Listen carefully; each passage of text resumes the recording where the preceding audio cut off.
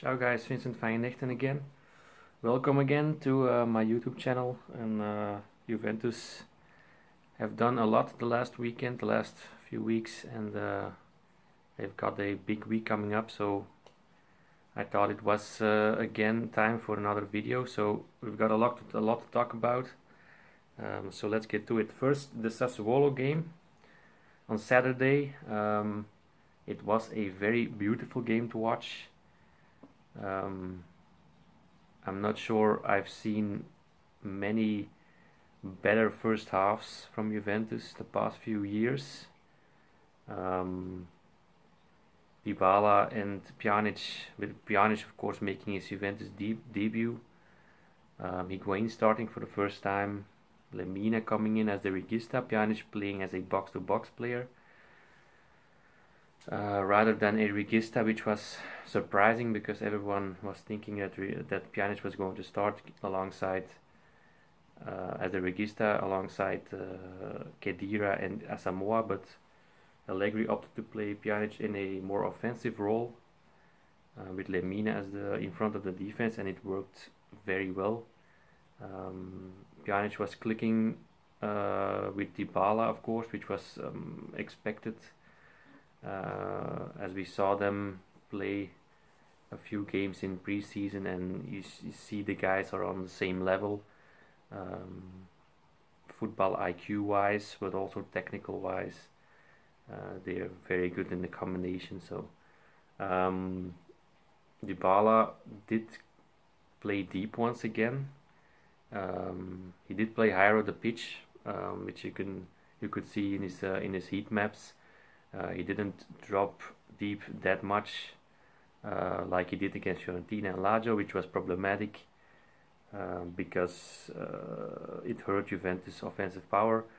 But this time Pjanic and Khedira was, especially Pjanic, was helping in that regard because Dybala could ask uh, the ball very deep in midfield in a very free free flowing role. Um, I wrote a piece on uh, EuroFantasyLeague.com that he was playing a free role like Messi at Barcelona. I'm not saying he is the new Messi, but he, he hinted that he could be a kind of player like um, like Leo. Um, and he showed it at Sassuolo. He was all over the pitch, left, right, deep, uh, very high in, in uh, even in front of the Higuain sometimes, um, dropping deeper than Khedira and Pjanic. So it was really fun to see. Fun to see. He was enjoy enjoying himself uh, with his bursts of speed, his uh, his dribbles, uh, his combinations with Pjanic, uh, Khedira, uh, who was my man of the match, um, just in front of Dybala. Um, Khedira was amazing again, running into open spaces, creating spaces for others, creating space for others um, like Higuain, uh, like Pjanic, and offensively Juve were clicking um, just on all cylinders, full gas all game, which I really like the mentality to uh, really kill off an opponent. Of course, they did it in 27 minutes. With Higuain scoring two goals, you can feel there was some not critique of there was a critique that he was too fat, but you can see the Higuain is, is already top fit again. Um, but it was also um, the notion that uh, Higuain was not had to adjust to a 3-5-2 system which Juve plays um, because he became a star at Real Madrid and Napoli in the 4-3-3 system. But you saw against you saw on Saturday that um, Higuain is such a killer striker. He's a top-notch striker. He's a world-class striker if you want to believe it or not. I'm not saying he's a Lewandowski or a or a Ronaldo or a Aguero even, but Higuain belongs in the conversation as one of the top five strikers in the world. So, um, and he showed it. Yeah, they killed. Uh, the second goal was nice with I know the scissor kick, the volley, but the first goal was the most impressive one in my opinion. Um, he he made a great run to get himself free and then his shot at goal was unstoppable. So uh, from a pretty difficult angle, so um, great Higuain Uh, great to see him um, at full strength um, and adding that killer striker to Juve's uh, Juve's lineup, which they have missed for a long time. Um, but again, the Khedira man of the match gave also gave the assist for the second goal. Um, great game overall.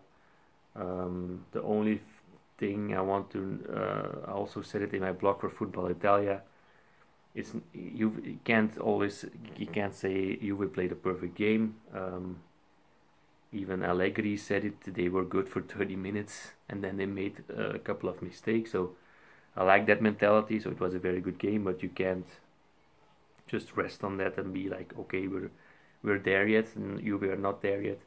Uh, Gigi Buffon even made a mistake, so uh, hopefully and probably it's, it's his only one of the season. But um, and also Lichtsteiner had to save a shot from Politano, which was Sassuolo's uh, best player. It, was very enjoyable to watch. Um, so Lichtsteiner had to make a save. They could have conceded more than one goal and but they also could have scored and they sh- Juve should have scored uh, five or six goals. They have to take their chances more um, because now it was a game. Juve was dom- Juve were dominant, but it still wasn't done until the final whistle, and that's my only critique. For, for, um, but uh, it was a very good game by Juve, so and a pretty uh, confidence boost for the Sevilla game, but more about that later. First, um, a bit about Inter, um, which who clash with Juventus on Sunday. Um, Juventus have beaten Fiorentina and Lazio already, and Sassuolo, which of course uh, I said in my Juventus uh, season preview that if they started with a 12 with 12 points from those four games, so Fiorentina at home, Lazio away, Sassuolo at home and Inter away that Juve are ready to just go all out and, and, and take the, the Scudetto um, pretty early this season um, because Marchisio is still out. Um, Higuain has made his first start now. Pjanic has made his debut or um, just on Saturday. So they're not even going they're not even even used to playing with each other. Um, I mean, they're not at the at the highest level they want to be, so they're still uh, searching for their their best form. Um, but they have played. They have played. Don't get me wrong. They have played very good games. Um, they were uh, good against Fiorentina, decent against Lazio, very good against Sassuolo. If they beat Inter, they have 12 points from, from four games. A perfect start to the Serie A season if they could beat Sevilla in the in a midweek on uh, on Wednesday, I mean it's a, it's the perfect start. But Juventus still have room to grow this season with all the new players coming in. Um, so they're not at the top level, which they shouldn't be. They should be at the top level, in my opinion, in uh, February, March, April when the Champions League gets uh, in the knockout stages. So that's what I mean. Um, but starting perfect on a perfect uh, basis would be amazing considering the opposition uh, they faced in Serie A. Um, Juve have not lost against uh, Inter since November 2012 when they lost at home 3-1.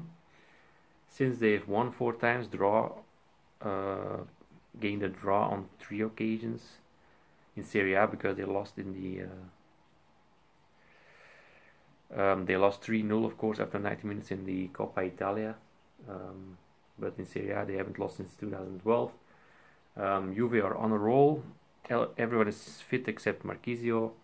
Meanwhile, Inter are trying to find a their identity under their new coach, Frank de Boer. They have used three different lineups so far uh, the 3 5 2, 4 3 3, and a uh, 4 2 3 1 uh, against Pescara on uh, Sunday, which was a very difficult game for them once again. Pescara very fun to watch. Um, still believe they're going they're going down. They're going to be relegated because their defense is it's not bad, but it's just not good enough. Their offense is very talented. They will score a lot of goals, but Caprari is a baller. Um, and he showed it against Inter, um, which on one point he did one dribble, um, and which resulted in a shot against the bar. And when he did the dribble, I'm not getting excited too much. I'm, I'm pretty, I'm a pretty uh, uh, cool guy on that regard. But when he did that dribble, I was like, whoa, that is some really cool stuff. So Caprari, um, if you get a chance to watch Pescara, watch him um, because he's fun to watch. Um, but Inter in the end, two times, two goals by Icardi, um, which who saves Inter, uh, who has saved Inter on more than one occasion. Um, and he did it again with a goal in the the second goal in the in the extra time. So uh, Inter deserved to win. Um, if it was a draw, Pescara could have earned the draw, uh, could deserve a draw, but in the end, I felt Inter was didn't win undeservedly. Um, but still, they are searching for their identity. They're they're not there yet. They have to click. Joao Mario made his debut. I'm not convinced by him, especially not for 45 million. Um, I think he's a decent player, but he's definitely not a star player. Ever Banega, who came for free, is much important. Um, way more important to Inter than uh, than Mario, but Mario is coming in, can play next to Medel in defensive midfield, uh, which allows Banega to play behind Icardi with Perisic Candreva on the left and right, right wings. Um, if they play these this four two three one or four with with, with the with Perisic and um, Candreva really high up the pitch, which is going to cause some problems for the three five two for uh, for Juve. Um, I've already said it a couple of times that the 352 has one weakness, which is when um, opposing teams play the 4-3-3 or a three-man attack um, with high with wings, offensive wings staying very high up the pitch.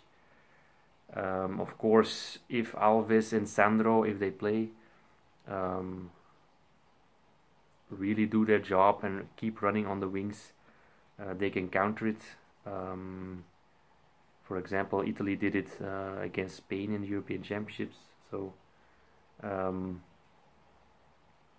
it is counterable, the 43, but I would still believe Inter will play a decent game. They will make it difficult on Juve um, offensively, but the problem with Inter this season has been their mediocre defense. I'm not sure what's going on because it's pretty much the same defense as last season. Um, their full backs are very poor, but also in, in Miranda is trying to save uh, the Nerazzurri's defense, but um, they've conceded four goals in three games. Um, if if Santon, D'Ambrosio, or even Nagatomo are going to go up against Dybala, uh, with Alves, uh, Sandro, with Pjanic, going up and down the field. Um, I still believe it will a will be a small Juve victory. I believe a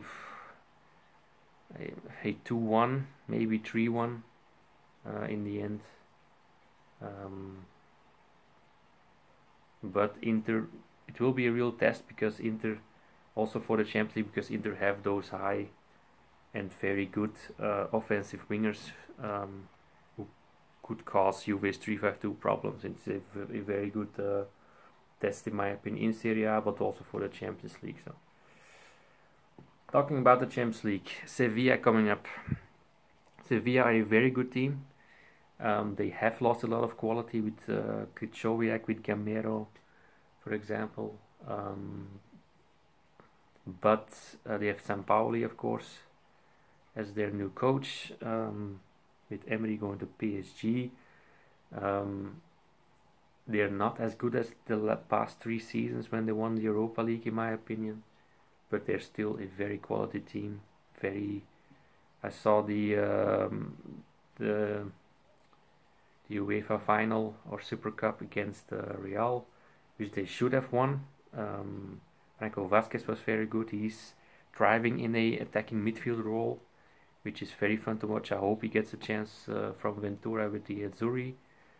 Um, they're playing, or they did have played two games with a 4-1-4-1 lineup, so very offensively with Nzonzi in front of the defense. You got Nasri, Vasquez, uh, Ganso, and then Correa, the former Sampdoria man, behind Ben Yedder. Um, so they play very offensively, again with the high wingers. So are Juve going to switch from a 3-5-2 to a 4-3-3 or 4-3-1-2 lineup?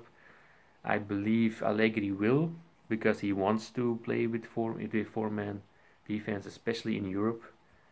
So believe I believe he will play it. Um, I'm not sure how he's going to play. Um, probably with uh, Asamoah, uh, Lemina Khedira in front of the defense, and then Pjanic behind uh, Dybala and uh, and Higuain. That's my guess. Um, but he, he has to play it because he wants to win with uh, he wants to win the Champions League with the four-man defense with that lineup. So he has to play it, and the Sevilla game is a perfect game to begin with because Juve have the tendency to uh, to not start off well the Champions League with a pretty much mediocre group stage. They finished second last season in the in the group stage, which uh, by losing at Sevilla, um, drawing two times against Borussia and Gladbach. So maybe the Sevilla game is just a very good game to begin with because Sevilla is the best opponent in the group, so they can really start um, by getting that win, by getting by beating a good team in the Champions League. So um, they also should topple their group. Um, Lyon got beaten by A Ghent, uh, the Belgian champion last season, so um, they lost Fekir again to uh, their best player, in my opinion, to an injury. So Lyon should be two wins. Um, they're not an easy team because Lyon are, are a decent team. So, um, but Juve should just beat them. And okay, Zagreb are the weakest, the weak link in the group. So they should. They are tough at home. They beat Arsenal last season at home, um, but lost to Bayern also. So they should just uh, run over them. But I would uh, advise Allegri to play Marko Pjaca in a 4-3-3 system. Why not? It's a perfect game if you play Zagreb at home or on the road. It doesn't matter. It's a perfect game uh, or the opportunity to test a real or a pure 4-3-3 lineup with one striker and then two wingers. Um, and I hope he plays Pjaca against his former team. I believe he will be very motivated to uh, to show himself against the against the team that uh, that made him big. So um, then overall, also the favorite Juventus are one of the four favorites, clear-cut favorites in my opinion, with uh, of course Barcelona, Real Madrid, and Bayern Munich. I also count as a dark horse Manchester City uh, with Pep Guardiola. Um, they've been very impressive this season. Um, and they have the players to do it. In my opinion, especially if Vincent Kompany comes back in defense. Um, I got one Twitter Twitter follower who asked me, um, who said I'm a bit worried about the pressure um, Juve, uh, Juve are facing in the, in the, to win the Champions League or perform in the Champions League. Well, they put that pressure on themselves by talking about the Champions League. All the new players coming in talked about winning the Champions League. Um, and it's Juve's time. Juve have all the ingredients, all the players, the tactics, the coach, um, the fans. I mean, they have all the ingredients to win the Champions League. And if they are not aiming for the Champions League at this point, I'm not sure when they should do so. They can win the Champions League, and if you can win the Champions League, you have to go it uh, for 100%. So then to end, because we've been on 90 minutes already, I want to say something in short about Grigoris Kastanos, um, who um, popped up in the English press press this uh, this week because Manchester United uh, should or could be interested in signing him um, from the Juventus Primavera He's been a star at the Primavera A team uh, last season. He scored five goals, gave two assists. He's 18 years old at the moment. Um, he's from Cyprus. Um, and I, I saw him play or make his first start for Cyprus against Belgium in the uh, World Cup qualifiers. Belgium did win uh, 3 0 um, in Cyprus. Um, but Kastanos really impressed me. He played a very good game um, against a tough opponent. Um, he played, Cyprus played in a 4 2 3 1 and he played behind the striker as an attacking midfielder, which is his best position. But he also he did switch a lot. He, he did play more of a box to box role because he also um, did drop deep to ask the ball, um, to claim the ball actually, and which is pretty quality, uh, pretty decent from a 18 year old.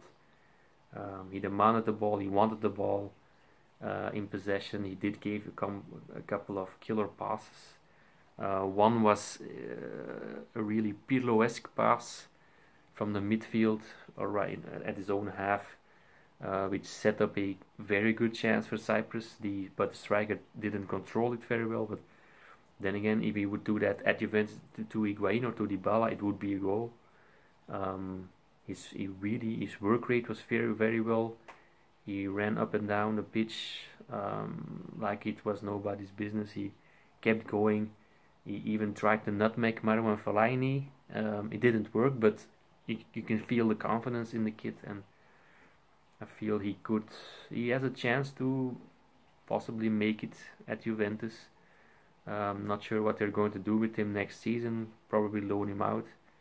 Hopefully to a team like Sassuolo or Empoli. I think he could thrive there and maybe uh, in the future play for Juve. So very good news on that regard. So that was it. 22 minutes, um, but we had a lot of lot to talk about. I'm going to do a new video, also a rant video on Lukaku and Pogba, so stay tuned for that. Um, so let's all watch uh, Sevilla, the Sevilla game on Wednesday. Let's hope Juve go out and kill off, um, kill off Sevilla with a, with a good game, a good performance, and a win. And then, of course, the Inter game, the Derby d'Italia, always exciting. So, Forza Juve.